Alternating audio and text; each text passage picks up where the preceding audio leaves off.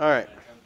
So, with what we where we left off with yesterday, I did the best on it. I, I'm literally the best. what is one of the arthropod success?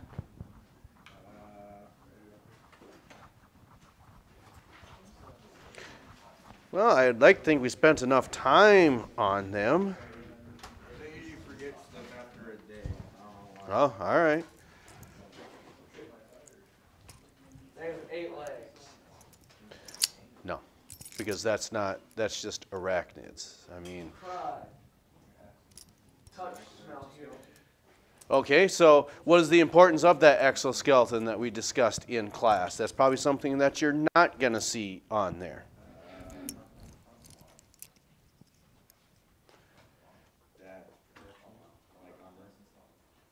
Okay, that's what all skeletons do, but what's another function? You just said that. Anything else? Okay. So, what is, we said the exoskeleton, that's a function. Okay. Yes, it does provide protection, but what's a secondary function that we talked about in class? No, it wouldn't, it's not going to provide cam. It, it might, but that's not a function of it. It's something that you're not going to see. It's one of the things that we had talked about. Uh, yeah, we already said protection. Well, you're not far off with wings, per se, because the exoskeleton provides spots for muscles to attach to. Okay? And then what was the example with the desert arthropods? See, your front row or back row? Front row. Okay, front row. It's something that you're not going to see on your paper. It's what we talked about in class. So, desert arthropods, who might those be?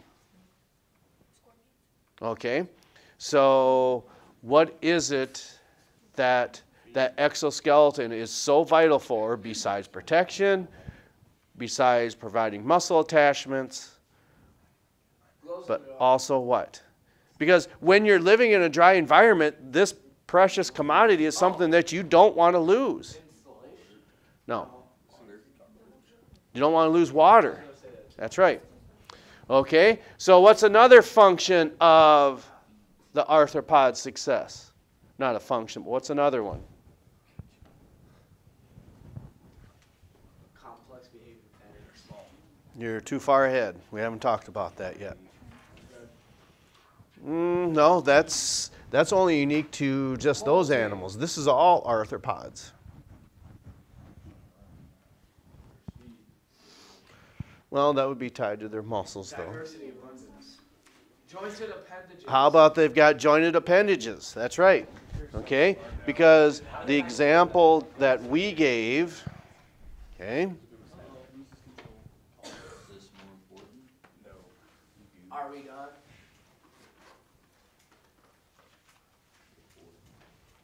I wonder how long it'll take.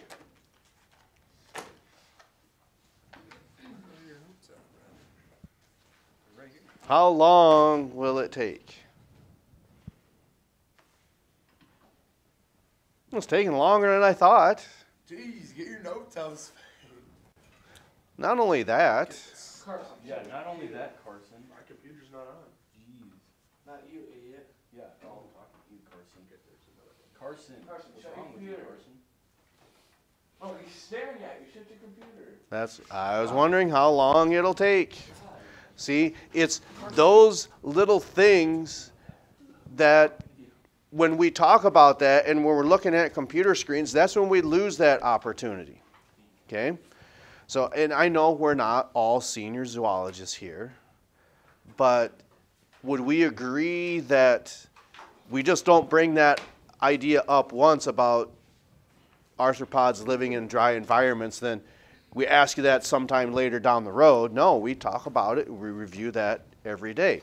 And when we're doing things like that, that's when we leave, or one way of saying just leaving points on the table. It's just uh, hopefully um, easy points not to um, leave behind. In other words, it's kind of like uh, trying to drive and you want to score touchdowns, but you keep scoring field goals.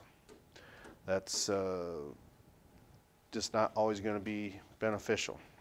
Okay. Yes, King. It works for the Vikings. Yes. What? The field goals that works for the Vikings.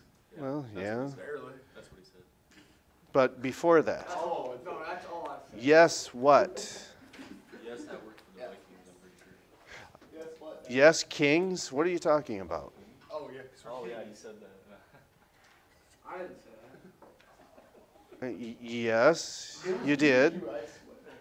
Because we could probably say go back to the videotape because the because this is on. Okay. So what are we talking about? Who's I don't know. I just yes king? on TikTok. It's the king. I. Okay. So remember, this is where this versatile exoskeleton, okay, these jointed appendages. And we could have said, well, take that even further and say, well, we had talked about air being piped directly to their cells. Okay, so what are the structures that do that? We just verbally said what they were. One starts with an S, and it is one of your vocab terms. It's the external openings External openings. Does what? That leads to tracheal tubes. What's a trachea for humans? That's a tube or structure that goes from the back of the pharynx down to the lung, so it must be something for respiration. Okay? So here we see this right here. Efficient tracheal system. Okay?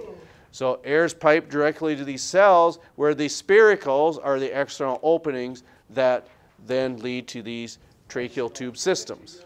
Okay?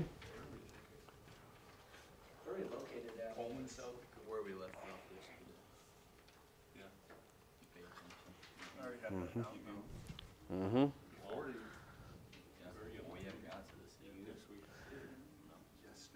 And we got down to here, if I remember right. I said this is where we would begin.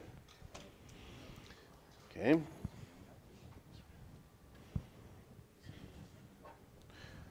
All right. It's not the first time that we've seen something like this. Tactile organs in gastropods. What might that have been? What's this? eyesight. Okay? So then not only is it just having eyesight as a tactile organ, okay? Because the reason we say that is types of sensory organs. Here we have compound eyes, okay? Seriously? Like, I'm tired of it. What?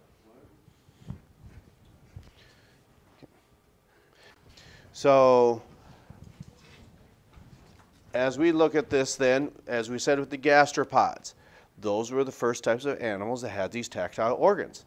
Eyesight, had an oral cavity, could probably taste, could certainly could hear. So then now the arthropods are even more advanced because they're so much more diverse. There's a lot more arthropods on this earth than what there are any other species. And we showed you an example of that. And why is it that there's so many more arthropods? Okay. Why is there so many more arthropods on this planet than any other phylum? Because they're. Be- Be- Now you got to go down to the class level that we said. Okay. There's a- abundance of them. Well, there's an abundance of many other types of animals, but that doesn't make them having such a large class. It's the, remember, when we're talking about phylums, then there's assorted classes. So if the phylum is Arthropoda, there must be a class underneath them that is really, really huge. Uh, arach. Insects. Insects, okay? So the arachnids, okay? Are we gonna go anytime soon? Like, how old are you? So You're- disrespectful You're eighteen about years that, old. literally. I'm just helping you out. Don't want you to break that chair, you know? Seriously, Carson? You're eight- Okay, I, I guess maybe this is just, hopefully this isn't pointless.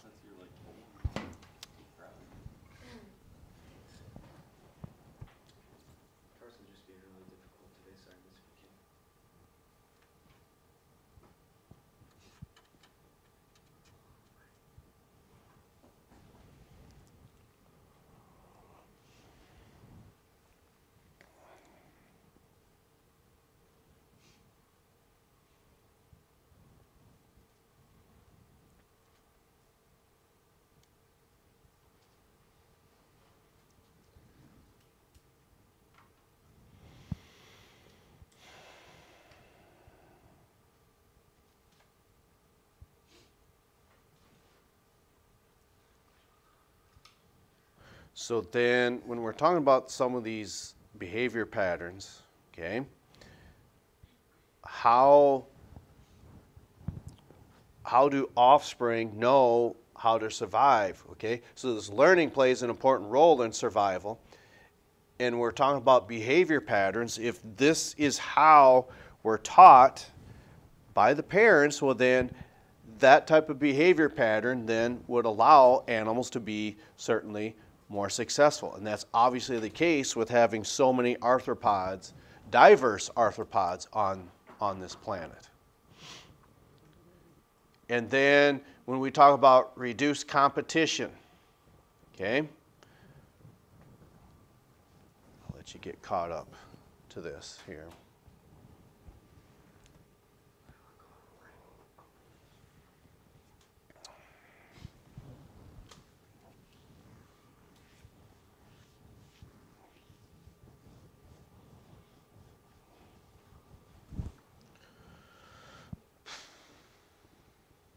And what we mean by that is, in a related question, we would say, Are you consuming the same amount of nutrients as what you did years ago? And of course, the answer is no. Okay? So then, what that must mean then is when we look at these different types of stages, what does that mean to you? A larval stage. Baby. Okay, so still developing, still growing. Okay, and then obviously with that of an adult is more fully grown. So since these take in more nutrients, okay, there's going to be less competition between those. Okay, so if there's less competition, well, then there's going to be more food available for adults because larvae are not consuming as much nutrients as what uh, juveniles and adults would. So this reduced competition is certainly an advantage then as well. And I think the reason that that's important is because this is the first time that we see this. We could say that this is true for any type of animal.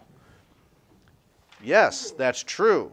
But this is the first time it's ever been, you could say, observed that would affect so many different types of animals afterwards. Then I think that is, I was gonna say that was, that was it. So- So there's, we're not done yet, but there's six keys. We said, okay, the exoskeleton. Then what type of appendages? They're jointed appendages. Then the other one is respiration. What about it? There's like the spiracles and airs, uh, those are the openings, leads to the tracheal tubes. So then this is piped directly to their cells. Then something about what about their sensory organs? They're more advanced, okay, than any other animals that we had encountered. There's the fourth one, okay. Then something about their behavior patterns. complex. They're complex. There's the fifth one. Then finally, the sixth one we said has to deal with their diets. Okay? Because not all types of arthropods are consuming the same type of diet from their larval stage, juvenile stage, to their adult stage. So, with that, we move on to our first class. Merostomata.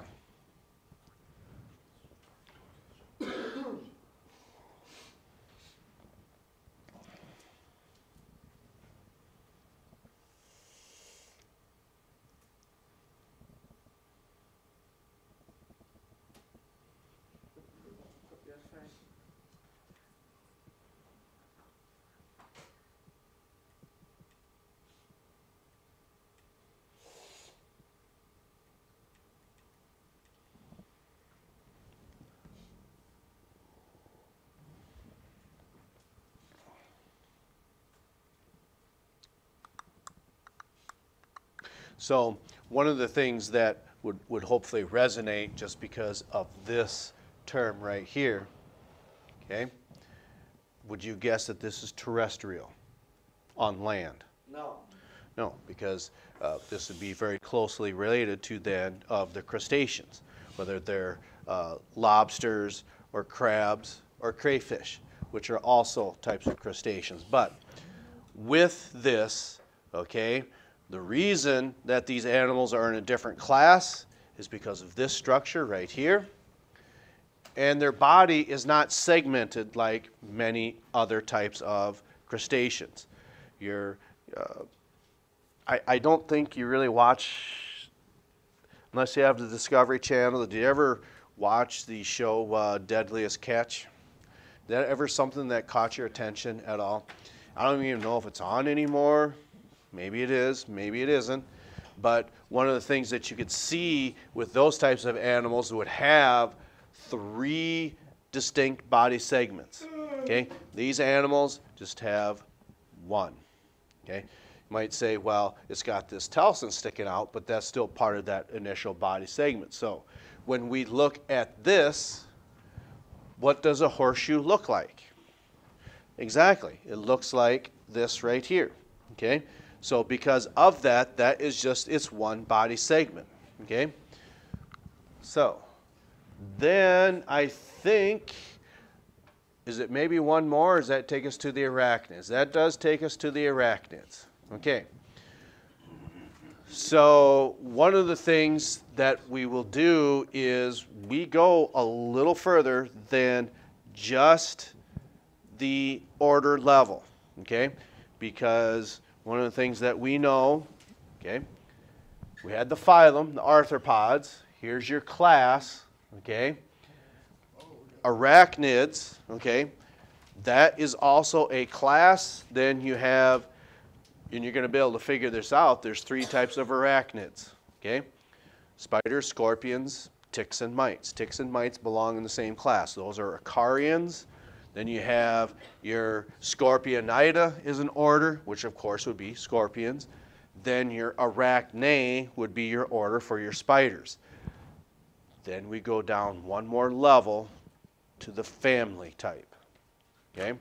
So the classification of that is just a little more, um, let's say, we'd say advanced or precise as opposed to biology. When you learned, you had your you had your uh, class of mammals, then you just had your orders. We didn't go down to the family level.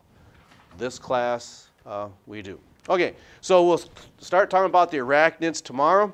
So we'll catch up to you next time.